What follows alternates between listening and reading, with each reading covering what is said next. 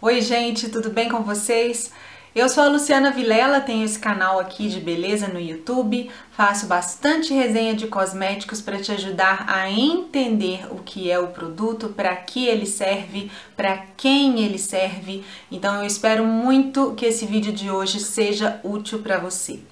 No vídeo de hoje eu vou fazer uma comparação entre sete cremes da Nivea. Esses quatro aqui dos potinhos que foram lançados mais recentemente e mais três cremes que são mais tradicionais, estão no mercado há mais tempo. É, não são resenhas. Todos esses produtos aqui, exceto esse Nivea Men, todos os outros estão resenhados aqui no canal e estão destrinchados, eu falo tudo sobre eles, mas o intuito aqui hoje é responder a pergunta que eu recebo em todos os vídeos das resenhas. Mas qual é a diferença desse para aquele outro? Então, as pessoas às vezes não entendem muito bem para que é melhor um do que outro. Então, nesse vídeo, nessa comparação, eu vou dar uma geral e estabelecer as diferenças, vocês vão entender quais são as pequenas diferenças que existem entre eles. E lembrando, eu não vou responder a pergunta qual é o melhor. Porque para saber qual é o melhor, você tem que saber para que e para quem. Então, claro que eu tenho aqui os meus favoritos e eu vou é, tentar dar indicações para vocês entenderem para quem ele pode ser melhor. Mas o melhor quem tem que definir é você mesma, de acordo com as características de cada um, de acordo com seu tipo de pele e com seu objetivo. Antes de falar das diferenças, eu quero focar agora nas, no que eles têm em comum. Todos eles são hidratantes e básicos, viu gente? Então assim, é para quem tem aquela pele saudável e que quer manter uma hidratação no dia a dia. Se você é uma pessoa que tem alguma necessidade específica, alguma condição de pele especial, alguma é, sensibilidade, ou então você quer clareamento ou uma correção da sua pele no sentido de correção de rugas, saiba que nenhum desses produtos que eu vou mostrar vai ter ingrediente para tratar esse tipo de coisa. Agora, claro que quando você consegue manter uma hidratação da pele num bom nível diariamente, a sua pele vai ter é, uma aparência mais viçosa, mais saudável, tudo isso causado pela hidratação mesmo, porque uma pele ressecada, ela vai ter uma opacidade, vai ficar mais assim encardida, pode mostrar linhas de ressecamento. Então, manter uma boa hidratação no dia a dia é muito importante para a aparência da pele e para a saúde da pele também, tá? Mas é isso, é no máximo isso que você vai conseguir com esses produtos. Hidratação. Dentro dessa gama de hidratantes básicos da Nivea, a gente tem uma separação aqui que faz muita diferença na formulação dos produtos. Esses três hidratantes que eu considero os mais clássicos, né? Que é o Nivea Creme da lata azul, o Nivea Men e o Nivea Soft. Eles têm petrolatos. Então, esses três produtos aqui, eles têm formadores de filmes que são parafina líquida, ceramicrocristalina, todos esses ingredientes aí que a internet andou julga julgando e condenando nos últimos tempos. Esse é um ponto bastante polêmico e vale até depois fazer um vídeo só sobre isso ou falar exclusivamente sobre as questões levantadas pelas pessoas a respeito do creme Nivea, mas eu já tenho um vídeo aqui no canal que chama Falsa Sensação de Hidratação, onde eu falo sobre isso, sobre essa acusação desses ingredientes não hidratarem e sim de fornecerem uma falsa sensação de hidratação.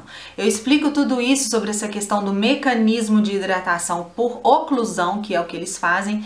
Tá tudo nesse vídeo, eu sugiro fortemente que vocês assistam depois de assistir esse aqui, tá? O link vai ficar aqui embaixo na descrição. O fato é que Nivea já tinha esses produtos aqui, os clássicos, né, que tem essa formulação clássica, mas resolveu lançar essa outra linha dos potinhos exatamente sem esses ingredientes aí que são aí demonizados por algumas pessoas. Então, esses quatro aqui não tem esses ingredientes, tá? Então, eu vou começar essa comparação com os três clássicos, começando pelo mais clássico de todos, tá aí, ó, centenário creme Nivea é o mais denso de todos. Esse creme aqui é para pele seca ou extremamente seca. Olha aqui a textura dele, olha, ele é até denso aqui para espalhar, fica bem branco. Ele tem cera microcristalina, parafina líquida, lanolina, que são ingredientes filmógenos. O que, que é isso? é para formar esse filme bem pesadão mesmo por cima da pele, porque aí impede a saída de água. Como está impedindo a saída de água, então isso também é um mecanismo de hidratação, porque você mantém água na pele, você mantém níveis satisfatórios de água na pele, então você também está hidratando. Mas ele não tem só isso, ele também tem glicerina e pantenol, que são ingredientes umectantes. Então, glicerina e pantenol são é, ingredientes responsáveis por captar água para a pele. Bom, tem uma fragrância bem característica de creme Nivea. Eu, assim, impressionante. Eu tenho uma relação afetiva com isso porque esse creme minha mãe usa até hoje, usou a vida toda e ela tem a pele super seca e ela ama passar no rosto. E realmente tem o perfil da pele dela mesma, aquela pele bem ressecada.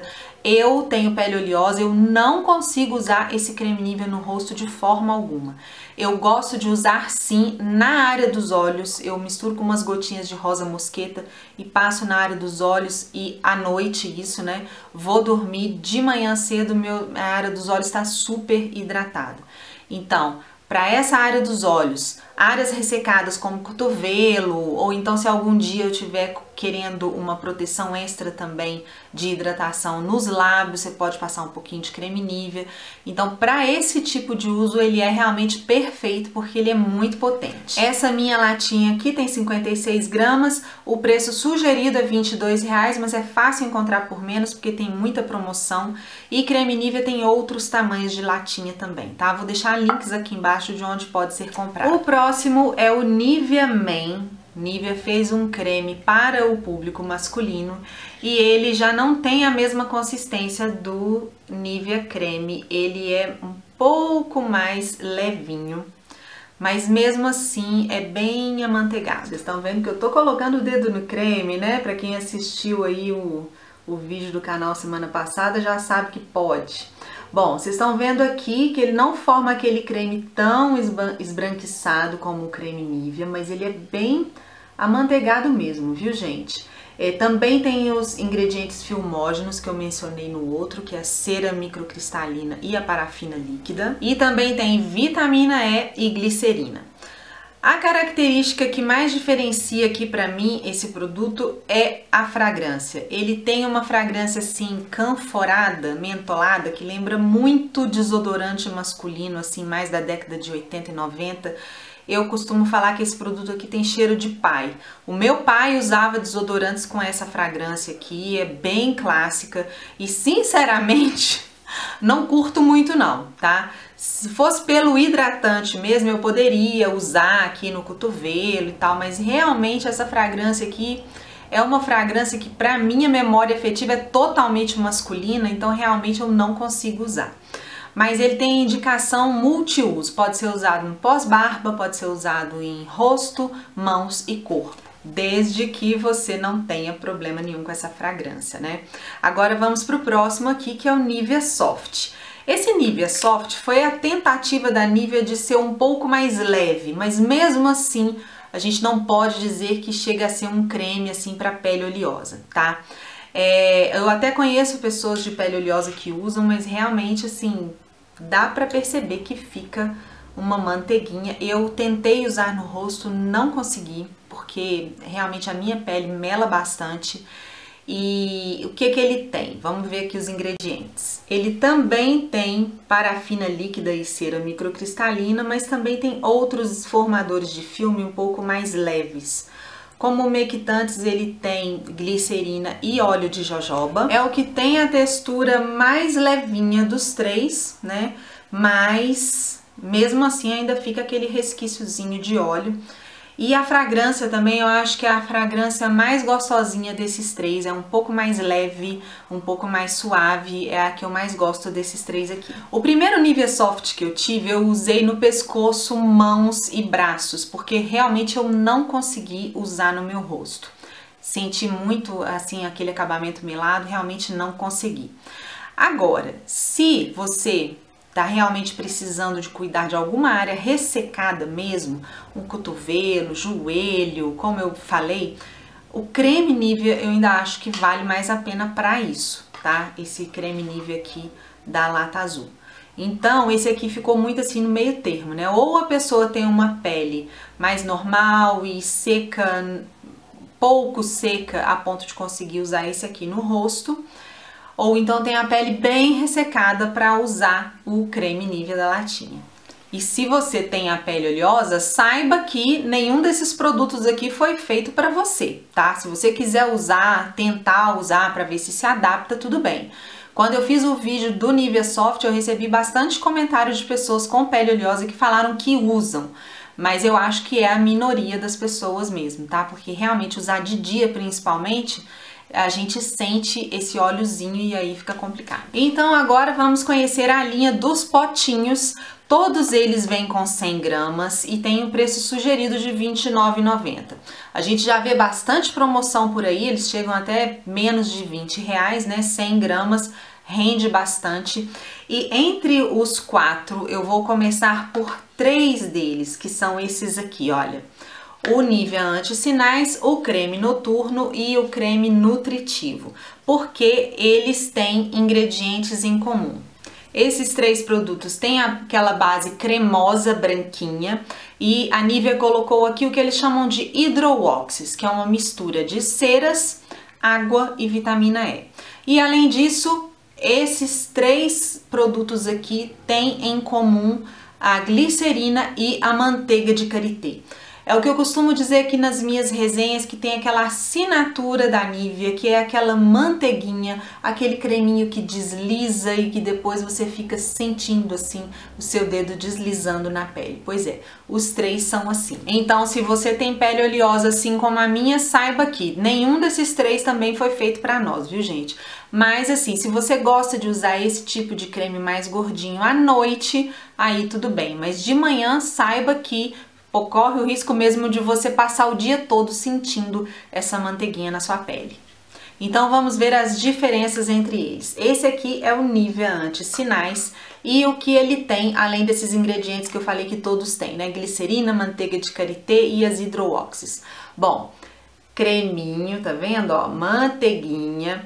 Ele vai ter filtros UV. Quais? O etil salicilate e a avobenzona. Ah, então por que, que ele chama antissinais? Provavelmente por causa desses filtros mesmo, porque filtro UV é o que tem no protetor solar, né, que é o melhor anti-idade de todos, e também pela hidratação que ele proporciona. Então ele é anti-sinais por causa disso, muito provavelmente foi isso que o marketing da Nivea definiu quando colocou esse nome no produto. Mas ação corretora de rugas, como eu falei no início, nenhum desses produtos aqui vai ter, viu gente? Então quando fala anti-sinais, pensa mesmo na ação hidratante como anti-sinais, por estar é, melhorando é, linhas de ressecamento na pele, tá?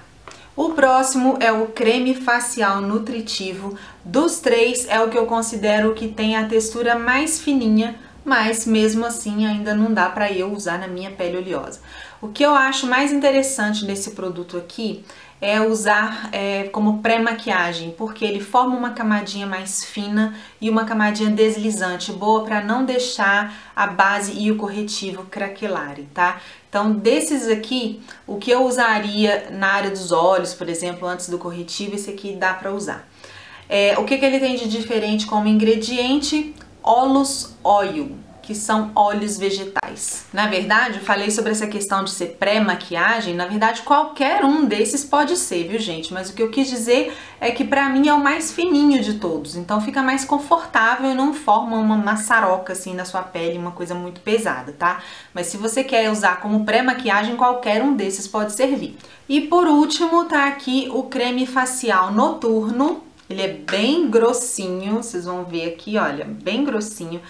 É o seguinte, gente, aqui vai a minha opinião pessoal. Para quem quer uma, uma boa hidratação da pele, eu acho que esse aqui é o mais vantajoso.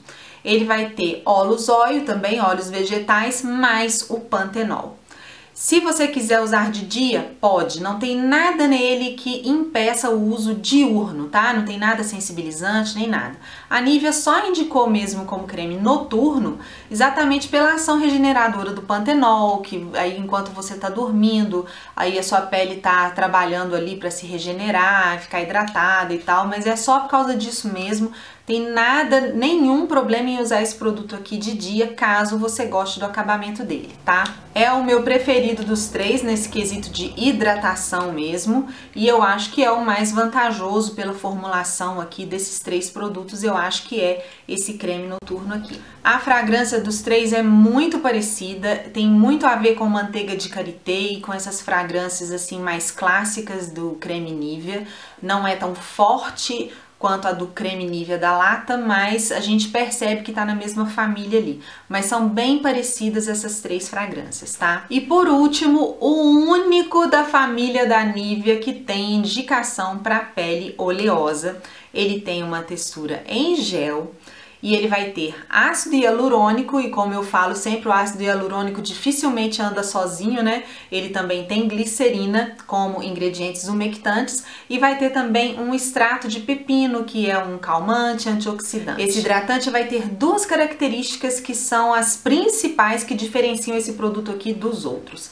A primeira, os ingredientes formadores de filmes. Nesse caso aqui, a gente vai ter polímeros, silicones que formam aquele filme bem levinho, bem suave mesmo.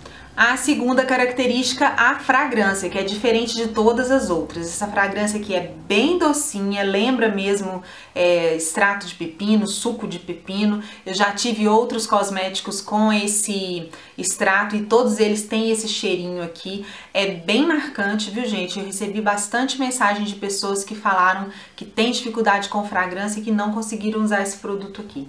Tem resenha no canal, tá? É, a, o acabamento dele é muito proporcional à quantidade que você usa. Então, se você passa uma quantidade um pouco maior, você sente que ele fica assim colento. Eu percebi isso nos primeiros usos e resolvi é, diminuir um pouco a quantidade, aí ele ficou mais agradável, tá? Então é uma coisa que você pode ajustar aí no seu uso. Se você tá percebendo que não tá curtindo muito, que o acabamento tá ficando assim pegajoso demais, tente alterar a quantidade, que aí você pode conseguir resolver esse problema. Ele deixa a pele fresquinha, ele entrega aquela hidratação básica e como o pessoal da pele oleosa gosta daquele negócio mais discreto, daquele filme mais sequinho, aí vai conseguir só com esse aqui. É o único, gente. Todos os outros deixam aquela manteiguinha e a pele fica mais brilhosa, fica mais melada, né? Então, mas como eu falei, viu, gente, é, não é uma hidratação potente para quem tá com um ressecamento severo, não.